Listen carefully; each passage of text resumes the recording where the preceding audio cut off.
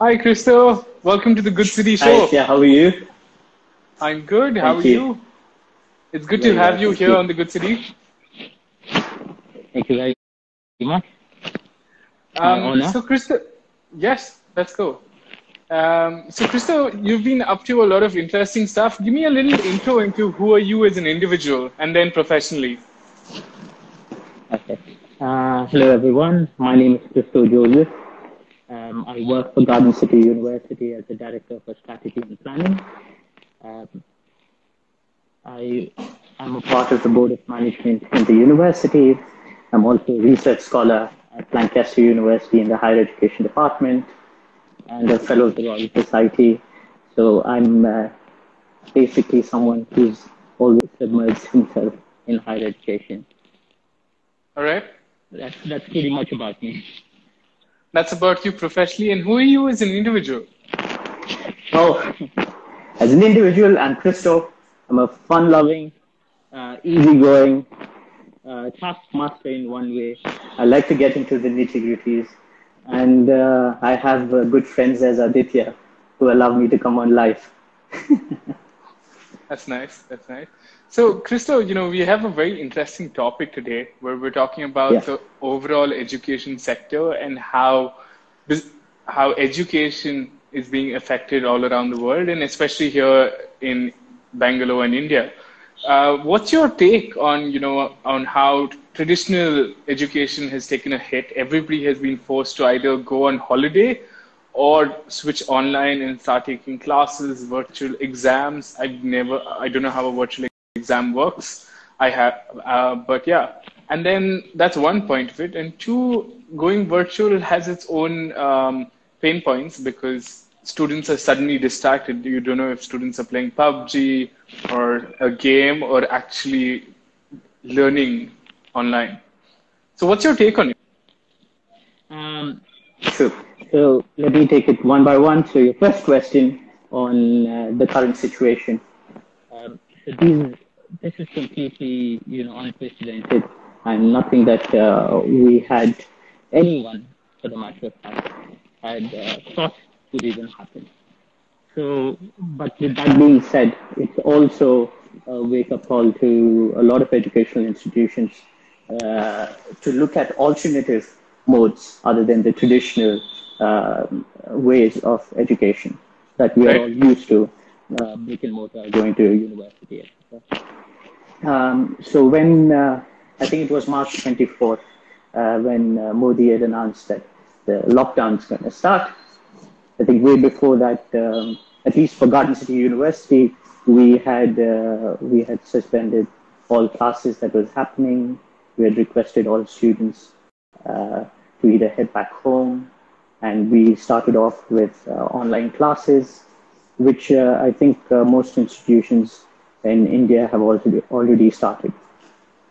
Um, but the challenge here is that you know with all these online classes that are happening um, and all the technological tools that we're using either zoom or meets or uh, any other uh, technology it was not meant for educational purpose. It was meant for meetings. It was meant for conversations. Uh, but that's that changes uh, when it comes to academics um, and students uh, especially when they come online to uh, classes like Meets or Google, uh, you know, Teams, Microsoft Teams, etc. These um, these online platforms, uh, it kind of becomes monotonous, and people do, and the feedback or that environment which the teacher used to look the look the student in the eye and could get to know what the student is thinking. Those things have uh, literally uh, gone out of uh, you know it's it's not it's out of the question now. Correct. But uh, but uh, there are there are uh, uh, other outcomes that have come out of it, which is teachers have taken to technology.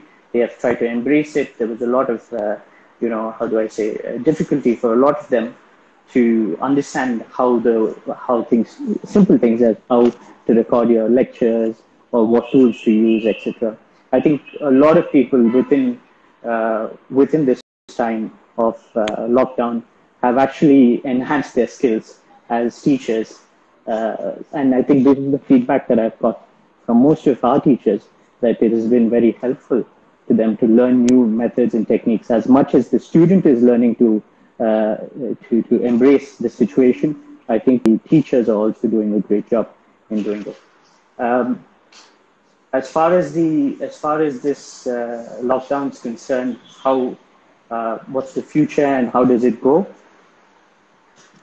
The future to me is uh, Aditya. For me, I I I'm I'm I'm all for digital. I think uh, you know me for a long time. People who do know who do know me uh, know that I'm uh, uh, I'm an advent user of digital tools in teaching. But I also uh, acknowledge that there is there's a lot of things to be learned before getting to it completely. the the university life of a student. Um, I was just speaking to one of us, one of the students, and uh, he was telling me something very interesting, which uh, said, uh, said, so I've, uh, I enjoy the online classes and everything, but I miss being with my friends in class. I miss, I miss practicing uh, for some cultural activity that is going to be there for next, in the next day or the next week, uh, which was, which was ways that was building that person's personality as well. I think these uh, with these uh, you know being confined in a way to just uh, your houses, all these kind of uh, you know intrinsic learning from students is lost. So I'm I'm I'm a little I'm a little uh, you know torn to say that digital is the only way, but I so think I'm gonna, it is sorry, definitely. I'm going to cut in here and yeah. so basically, uh, whether regardless of what journey of your academic career you're in, you might be in school, yeah. you could be in pre-university, you could be in undergrad, you could be doing a postgrad. Um, that whole physical relationship or the whole physical aspect of being in a campus, right? Yeah. Like you would, like this example of the student in an extracurricular activity or practicing for all these things. If and when uh, these kind of things do come back, it's going to be really difficult with uh, physical distancing, gloves, sanitization. So, um, uh, especially for larger campuses. True, true. Uh, I think till May, May said everything is shut. Uh, I think no educational institutions. I think uh, in Bangalore, uh, yesterday it was relaxed a bit, but that's just for the you know essential working staff. But for educational institutions, it's still shut. And um, I do see that uh, prolonged as well. I don't see it uh, immediately open. So, it, so most of the learning or teachings that are happening will happen digitally. Uh, we are doing our level best to reach out to all our students. Um, I won't say that we have done 100% because there is still a big problem with uh, internet connectivity in India, whether we like it or not. Uh, we are just talking about this urban set of classes, but there's a huge digital divide, which I'm sure we'll get into a little uh, more later. But um, we have tried we have tried our level best to make sure that uh, the the classes are captured, short WhatsApp messages are sent to students on videos, lecture notes are sent to them, so that there's a constant learning exercise. Uh, there's also a plethora of uh, knowledge that's available on the World Wide Web, uh, on YouTube videos, and many other things which uh, students can use at this time. So teachers have become like uh, people who will collate all these informations in the right structured way to give it to students. so it's easier for them to consume those knowledge. Interesting. But and yeah, in universities, it is going to be a challenge though it is going to be yeah. a challenge. Something I that. Think, uh, I think that way, when you look at Karnataka and Bengaluru, we seem to be like the one of the biggest, one of the largest uh, congregations of students from around the world, right? I mean, your campus too, your campus especially has students from different parts of the world, different parts of the country. So now with COVID 19, there are lots of interesting challenges where now that a lot of uh, the population in the big urban cities have gone back home, uh, going forward, do you see these uh, do you see these children coming back to cities like Bangalore, or are they going to start looking for education spaces in their respective cities? Um, I think to answer this, Aditya, I think I think we, we all should agree one thing that the student safety uh, is paramount. Sure. Uh, I mean, all our safety is paramount, uh, and without if uh, I mean looking at how it is going right now, um, just uh, I think it was one person found in one location uh, that was positive, and pretty much the entire area was red zoned um, so it just takes one uh, small mishap or one unfortunate situation for a lot of uh, a lot of people to to you know uh, become subject to this uh, COVID nineteen. The there is there is definitely no easy answer to this because we have to wait and see. But one thing is for sure mm-hmm. is that uh, as as as we are as this world progresses, we are going to have challenges. We are going to have these kind of uh, uh, troubles that are going to come up. It's about how we can sustain ourselves, and the life cycle continues on. And as we say that the COVID nineteen has come, there will be a point where the COVID nineteen would go as well.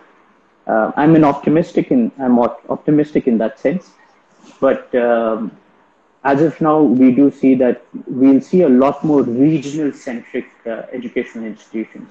Uh, okay. A lot more people uh, within their region going into educational institutions or educational institutions uh, as such opening up uh, uh, their campuses or short campuses in different parts of the country where there is, um, you know, where the education is sector is pretty much nil.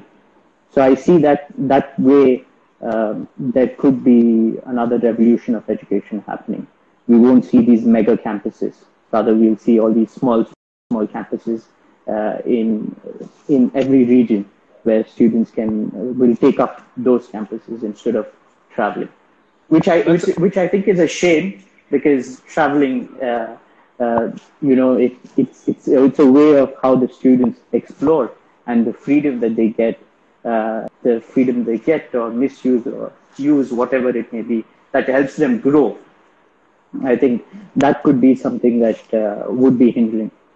A very interesting, interesting note on this is that I had got a, a feed to an email from uh, TripAdvisor, which was telling me that I could uh, plan my future trips, and they would send me videos of those places.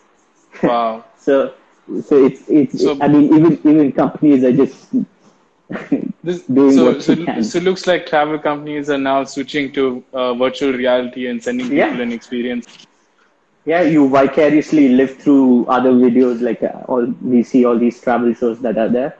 We or all the we, bloggers you know, and influencers. Exactly, exactly. Interesting. So, you know, uh, on the point that you mentioned in terms of mega campuses disappearing, where, you know, you've got education, where you've got various things. It could be uh, medical colleges, engineering, or generally a, a, university that has a mix of different things. Um, so obviously design in, designs of classrooms are also going to be affected, designs of hostels, the way thing, classes are conducted would have to change, right? With the whole social distancing in place. And as in as we produce uh, as, as we go on, there'll be new new such rules, I guess, from the government and yeah. education systems. Sure. Um, actually, Aditya, I'm doing a short study on this right now to understand okay. uh, uh, understand what these impacts are, these challenges are, uh, and um, what I have what I've learned uh, from my research, uh, which other universities are considering right now let me just put certain things into perspective before I tell you this. I think. Uh, sure. I think uh, UNESCO has come out with uh, uh had come out with a survey which said that 91% of the global student population is affected by the lockdowns that uh, countries have imposed worldwide. And in India, just in the higher education sector, it's 3.4 crore students that are affected by this. There's also a huge uh, there's also a huge divide uh, between urban and rural. Uh, we all sit in urban cities and uh, we talk about, uh, you know, my internet speed is low, or uh, why my why my why am I not being able to go to campuses, etc.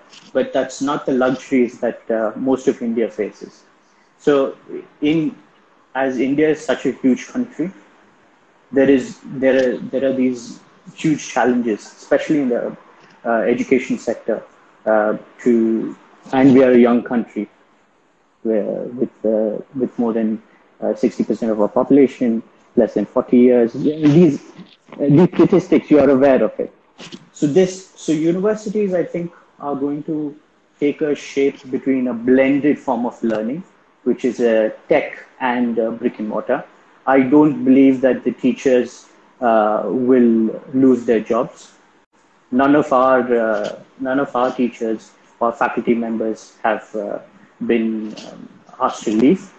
All the faculty members are there.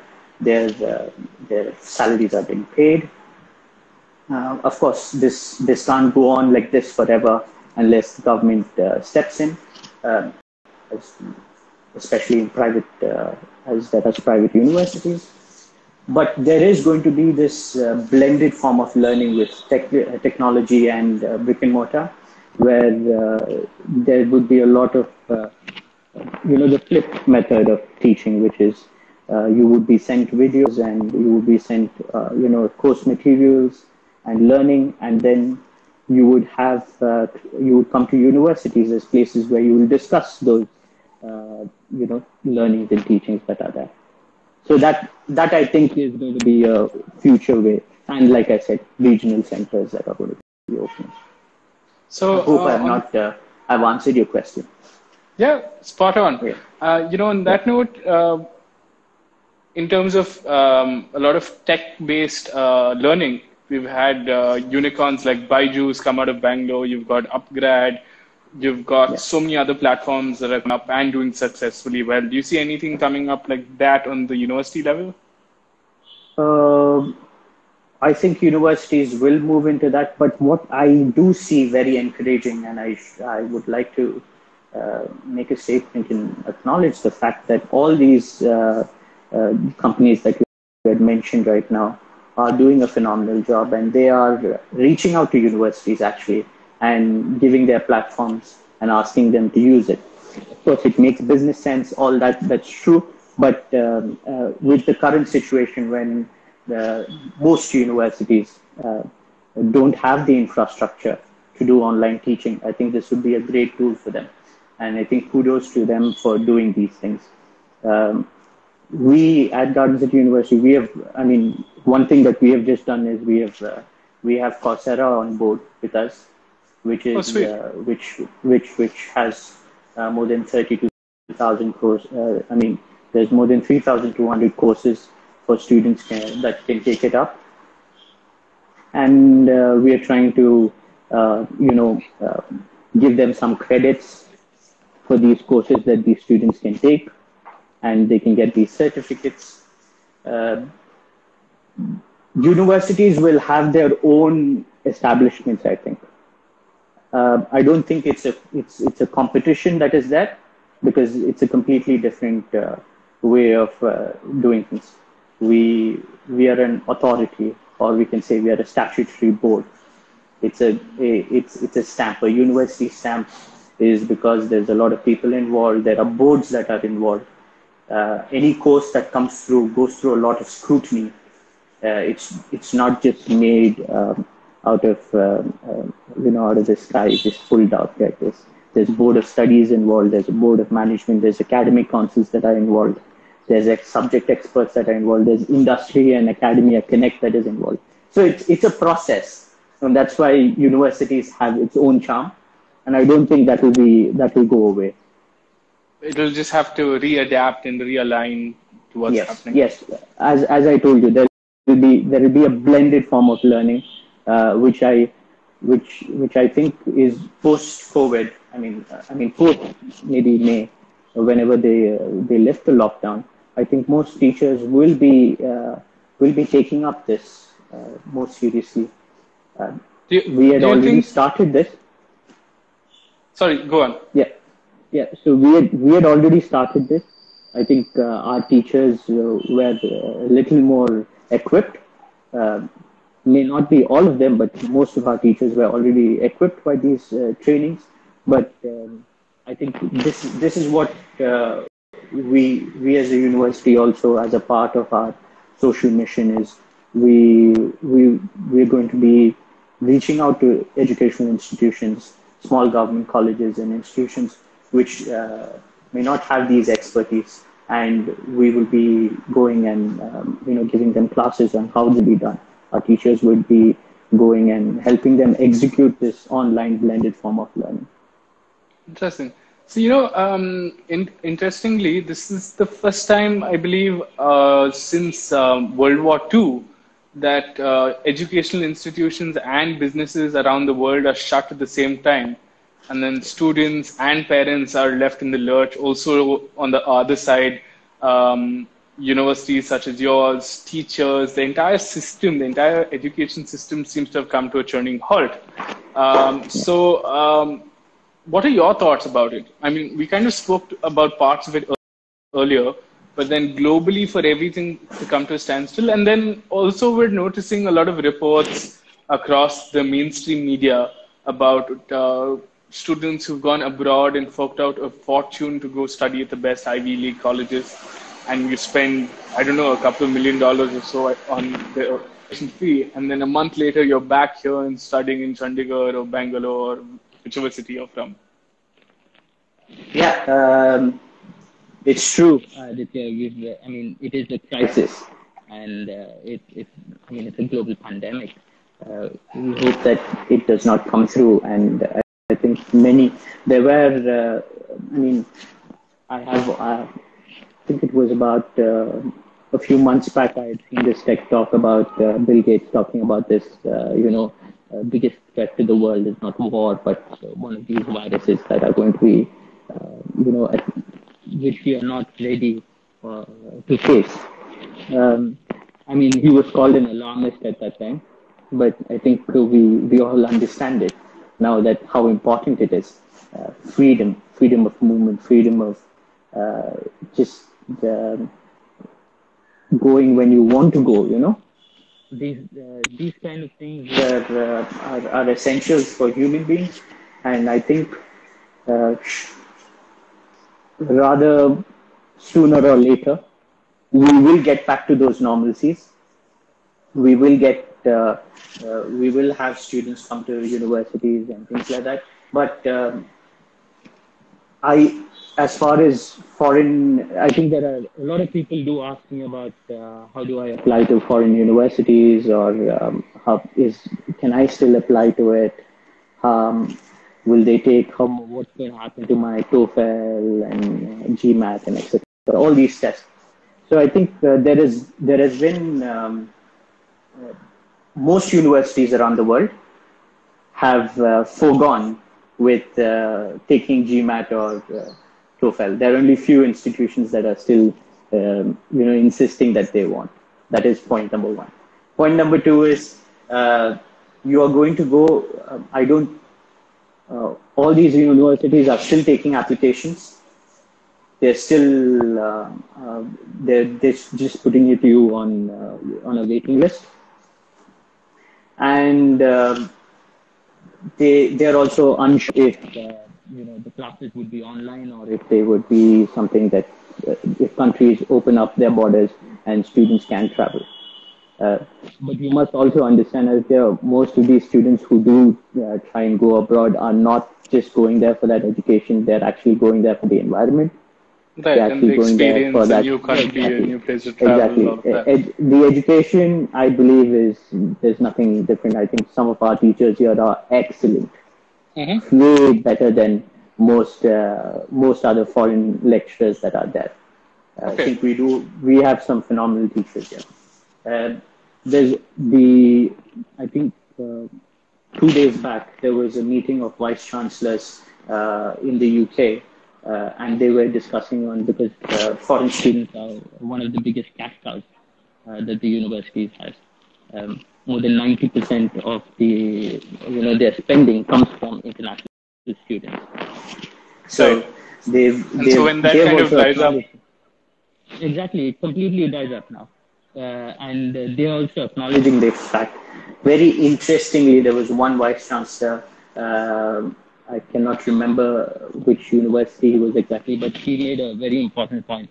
And he said that uh, uh, Western universities are thought of like luxury brands, where uh, prices are, you know, prices high. are in the state, yeah, prices are sky high and on just the name of the brand but when people look into the product quality, there's no intrinsic value to it. So yep. people are just people are just going there for that brand, but the product there's no there's no differentiation of intrinsic value. So okay. uh, they do see this, and there's a huge uh, you know a lot of people who are dropping out. Mm-hmm. My suggestion to anyone who is applying uh, to foreign universities is uh, uh, there's nothing wrong in applying to universities abroad. Please do apply for it. Uh, I would suggest you do it yourself. You don't need a third party to do it. That's one thing I've always told everyone. Okay. And uh, and and then and then and then the next thing is uh, I would suggest that you apply to Indian institutions as well, because uh, that would be a way for you not to waste your time, and you would also have uh, you would also have a place to uh, go and learn here. And I don't, I truly do believe that uh, there are educational institutions in India uh, that are doing exceptionally well and and is par to any world class university. May not be infrastructure wise, but in terms of knowledge, yes. Um, another interesting note since most universities uh, are also the nurturing ground for athletes, now the Olympics has also been postponed, and you've got yeah. the best of the world's athletes just stuck at home indoors if they ha- if they have the equipment and they're sort of working out. But then, where do you see athletes uh, going forward along with yeah. the entire university program? Uh, yeah, there's uh, you know uh, there was a meeting with the MHRD. Um, there was a circular from the MHRD, the Ministry of Human Resource, and also there was a meeting uh, held by the Education Minister in Karnataka one of the, oh, of course, we, we spoke about academic calendar, all these kind of things. But one thing that was uh, really interesting and uh, uh, what was spot, which was spot on, I think most institutions have not yet taken to it, is that uh, the psychological uh, confidence that uh, the or the psychological pastoral you know, service that is given to these students. Um, the when when I was um, this this this uh, you know there's a lot of people who are uh, maybe feeling the uh, you know the pressures of online learning where they cannot some of them cannot access it and all this so they are they are challenged psychologically and uh, many uh, many institutions even ours we have some um, helpline for them and we also have some of our teachers to assist them in this. Um, and this is the same case that happens to sportsmen as well, is that they, they, their, their routine starts at maybe five or four o'clock, uh, playing cricket uh, or football, whichever the game that may be. Uh, and uh, when it's completely standstill now, uh, they, they have a confined place to do their exercise. They I think most of them uh, will have to start working on their, um, you know, their mental health, their confidence, um, catch up on, you know, uh, uh, on, on other life skills that they can during this period. Um, that's, I think that is what, uh, that's, that's the best advice that I can give. And this is the best advice I've also uh, heard from experts that are doing right now. Yeah. Right. Um, and do you have any psychological advice for people currently sitting at home? I've lost track. Is it week, week five or week six of sitting at home? Okay. Yeah. Any um, tips? Any tips from the educational sector or just from you with your vast educational background? no. Uh, uh, my my tip is very simple. My tip is uh, do uh, take take rest as much as you can. Uh, use this time to uh, learn or watch videos, documentaries, uh, spend time with family, pick up new skills. Um, you, there are multiple things that uh, you can learn online, which you, I mean, there's, there's so much content that's available. Um, I would suggest uh, take up things like uh, which you thought, uh, you know, you, which was a bit far fetched, which is maybe start a YouTube channel or uh, pick up drawing as a class in painting, all these kind of things. Keep yourself, keep yourself engaged, your mind engaged, and of course, uh, eat healthily. And the, I mean, these things, these things I think is wide, uh, vastly. As far as, as far as, uh, you know, keeping yourself engaged uh, with education, is that you can take up courses. I would suggest everyone to take up some kind of courses online. Um, anything, it could be anything artificial intelligence, uh, speaking, writing, learn a new language. I would suggest you to do it. And that would, that's one way of how you can uh, keep yourself engaged and talk to friends. Talk to friends yeah, every day. For sure. Uh, like, have, like, yeah, like what I mean, we're currently doing. Exactly. like what you're doing right now. Yeah. So, so talk to friends. Uh, you know, tell them what you learned. Uh, I know some people may think it's absurd, but I think that's the best way when you can uh, speak to your friends and you can tell them that what you have learned and they, uh, you know, respond back to you. It's a, it's, it's, a, it's a moral boost that you can get in this uh, period. Nice. Um, have you picked up any skills during the lockdown so far? Have you tried your hand at painting? I do believe yeah, you tried painting a couple of times. Yes, I have. Uh, I do have a diploma in painting from Parishad. okay. Uh, yeah, it is. It is a certificate that I hold. But uh, yes, I do. I do paint. Uh, I mean, not as regularly as I used to, but uh, right now I'm uh, busy working on a project for my PhD work in Lancaster, and of course, there's there's so many things that are happening with the university. Uh, we uh, so we have a great team uh, with us. Um, of course, I'm I'm just a part of that team, led by our chancellor. You know, he, he's like a guiding light to all of us. So take his advice to try and implement things and right. uh, try and try and try and make sure that we are on the same right track and the most important thing is the students here and we make sure that the students get the best out of it. It doesn't. Okay. It, it, it doesn't matter which technological tool you use, as long as it is helpful for the student. We just we get it done. Nice. Is there anything else you'd like to add before we take uh, questions? Uh, my as an uh, I I'll just I'll just say this that you know this lockdown is is is is a wake up call to many educational institutions. I think uh, we as educators or people who are wanting to be in the education sector, it's it's a very interesting time and period for all of us to reevaluate where we stand and uh, how to take things forward. Um, it, it's challenging times, but I think there's there's also opportunities to help students and to help the country in general to, to uplift uh, the, the youth of our country. I think there is there's, there's a huge opportunity in the education sector for this. I think I'll leave it at that. Okay, great.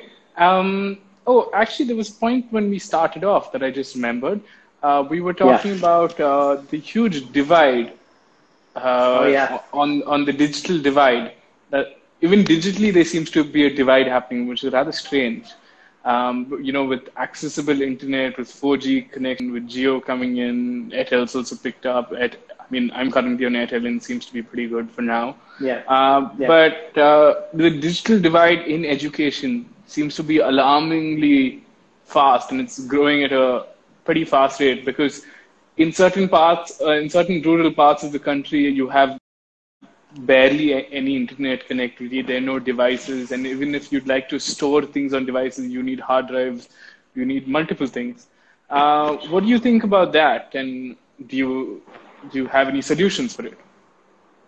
Um, it is it is it is uh, it is it's a it's a great challenge uh, for India in general, um, especially when we have these kind of pandemics that is hit. Um, I think it was a it, there was a report in 2019 which said that there were only 36% uh, internet penetration in India and uh, there's a huge uh, urban and rural divide. And uh, even in there, we could see that even in the rural sector, there's there's more male domination of the usage of internet, and there's very few female um, users there's uh, there's cases uh, that we are seeing right now. We have students from all over India, and I think there are there are there are instances uh, where um, some of them can't get network. You know, it's uh, it was funnily enough. I was uh, one of the students mentioned that I have 4G. It says 4G, but there's, but there's nothing. No there's no G. That that's a no G. So it's it, it's like it's like uh, you know that that itself is also deceptive in a lot of ways. Uh, sure. But but but yes, there is this huge divide. We sitting in the urban uh, cities, uh, it is a luxury for us that we have. Uh, I mean, or rather, we take it for granted that we have it, and uh, for uh, for that sector, I think uh, Jio is moving a lot in that, and they say that we will be getting. We are the second largest users of internet in the world after China uh, we we will we will soon hit more than a billion people is what it's saying. Uh, that that's the Jio vision. But until then, until then, uh, there is there has to be other ways and means that we have to look. So I I say tech solution, low tech solution, and no tech solution. These are the three things that uh, as educators we need to look into it. Tech solution, of course, we have it. Low tech solution, we make sure that even with a low bandwidth, we do it. No tech solutions, which are uh, which has already taken shape in certain places in Africa, where they have taken community leaders in uh, villages and they've uh, they've asked them to act as teachers to teach life skills to students at this point of time, especially for uh, primary and secondary uh, school uh, children. So yeah, I think uh, I think in India we definitely need more life skills. Yeah, well, I mean that that is again that's another aspect of what university brings. You know, uh, it's that uh, it's that space where the students can come in and learn a lot of things uh, by looking at their peers, how they handle themselves. Um, uh, you know, we are we are social beings at the end of the day. We cannot be confined to just this digital uh, uh, medium for long. We, I think there will be a there will be a time where we will say that hey look we need to we need to figure out more place more you know ideas of how we can maintain social distancing and yet uh, we meet up physically. Right. Yeah. And I and, and I think uh, on that note, um, I think obviously um, low. I mean, great um, or affordable education at low uh, data speeds is bound to somehow come. Uh, yes, in, in, in, in future, I do think that the uh, education is going to uh, is going to be free for all, um, and it should. Uh, I'm also a believer for that. Um, there would be certain points where uh, education um, and education sectors can take, uh, the governments can initiate certain things, take, uh, take the private uh, institutions uh, into confidence and uh, get, I think, I think the government is also working on those lines.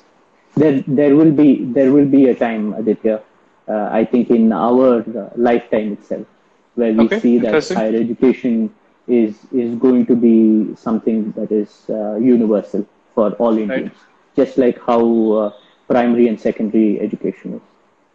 Interesting. Yeah. What's up? And um, great. Um, would you like to answer some questions that we've got? Yeah, please. please, Okay. any any questions that are there? We're more than happy to. Okay, I see Dr. Azhar. Um, ah,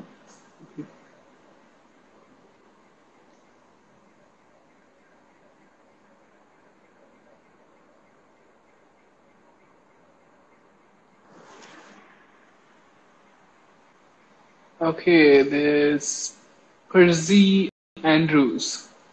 Few Okay. universities have plans of conducting online semester exams. What's your comment on that? Okay. Um, is right to the point. Uh, and there are we are going to. Let me tell you that there is uh, the NTA, National Testing Agency, which Okay. are uh, which the government is working on right now from the MHHRD, uh, Okay. which is looking at how to take up these NEET and JEE exams and all these, you know, competitive exams that are there All right. that that also people are looking into it. Uh, Okay. We we are also uh, developing our own system of uh, how online education, uh, online uh, exams can be taken by Okay. the use of uh, by by the use of uh, uh, you know inter, um, webcams to be on when they're taking the test, and there's there's certain uh, technological tools that can be used.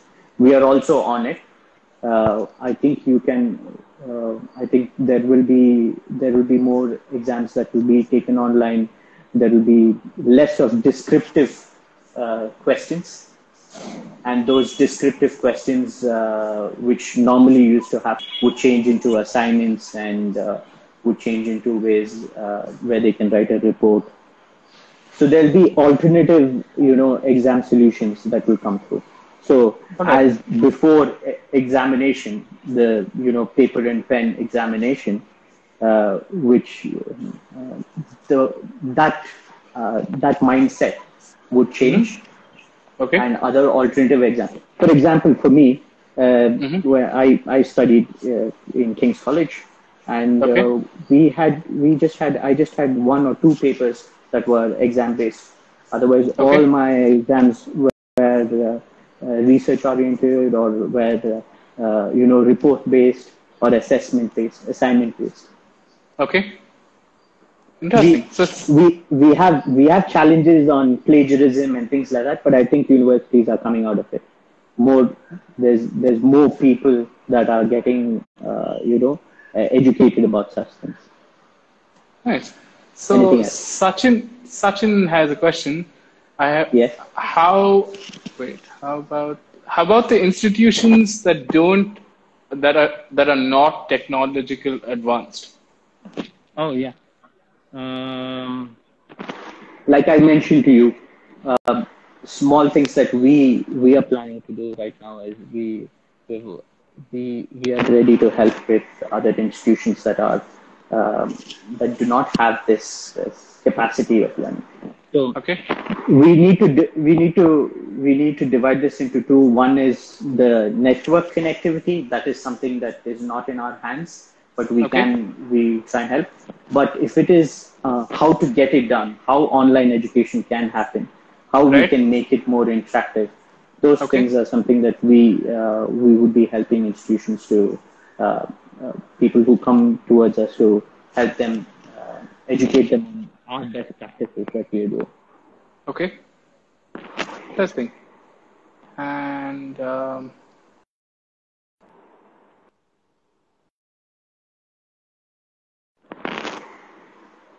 Any? I can't hear you, Aditya.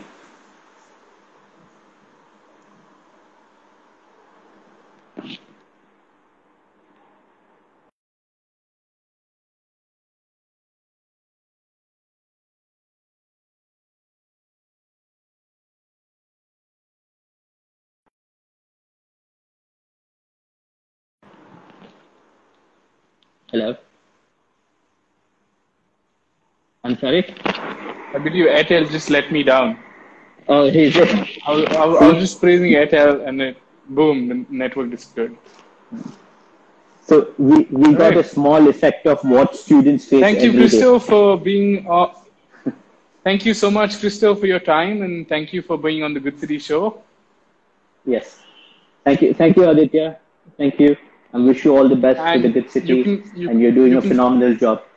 Thank you. You can find more about Christo at christojoseph.in and Garden City University. And they, they, they can you can you can give them my email address as well if you have any queries uh, you, related you want to, to type it education. Out? Do you want to type it out sure. below? Sure, sure. I'll right. I'll I'll do it as soon as I finish this. Okay. And and you can reach out to me at any time. It's uh, so. Why don't you just read out is, what your email is? It, yeah, it's Christo C H R I S T O dot Joseph J O S E P H at gardencity.university. I'll repeat that once more. Christo, C-H-R-I-S-T-O dot Joseph, J-O-S-E-P-H at gardencity.university. Yeah. Uh, okay, good. You're more than welcome to drop me a mail awesome. and I'll, I'll do my best to answer any queries that are there. And you can put the Good City show in the subject so it filters better. For sure, for sure. I will do that. I will do that. All right. Thank you, everybody, for tuning in. Join us tomorrow at 5 o'clock. We have someone very special. Actually, every day is someone very special. Uh, so tune in at 5 p.m. Also, look for the Good City Show on YouTube, Facebook, Instagram, of course. Uh, let us know if you'd like to feature anybody else on the show. Um, really excited. See you soon. Thanks. Thank you. Thank you, everyone.